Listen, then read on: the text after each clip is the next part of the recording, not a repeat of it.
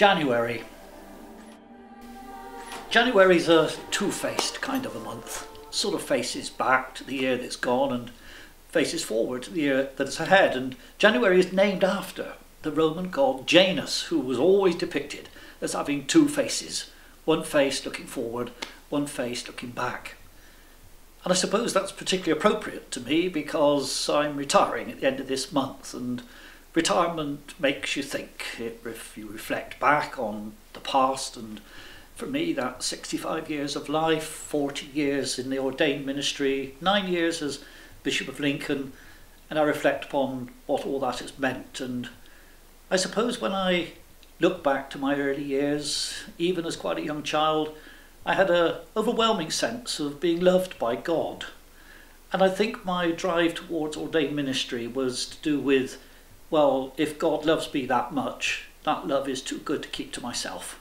And I ought to be sharing that love with others. And so getting ordained seemed to be a very natural way of seeking to share God's love for me with other people. But it's also retirement about looking forward. And I'm sure God laughs when we tell him our plans but of course, that doesn't stop us having our hopes.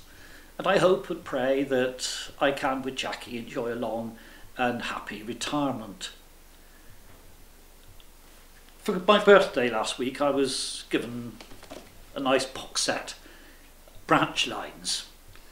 And I thought this is going to be about those lovely old steam trains that used to ply the branch lines of Great Britain. So I thought it was a bit of instant nostalgia. Because when I put it in the machine to play it, it's not that at all. It's about modern branch lines. It's about the branch lines that are still operating, uh, the ones that are serving the collieries and the oil refineries and the cement factories.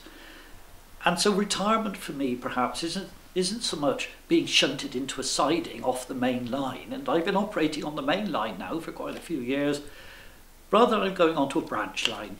Still, I hope, being of use, still having a purpose, still having something to do, but well, these old trains on the branch lines, they operate a bit more slowly, but they still got a job to do.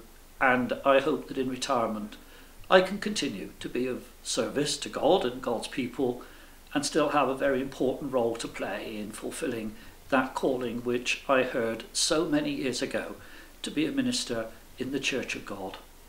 Well, January, a time to look back, a time to look forward, and a time to say thank you to say thank you to all those people who have enriched my life and ministry over these 40 years, and not least these last few years here in the Diocese of Lincoln. And I pray God's blessing upon you all as you reflect on what is past and go forward into God's wonderful future. May God bless you all.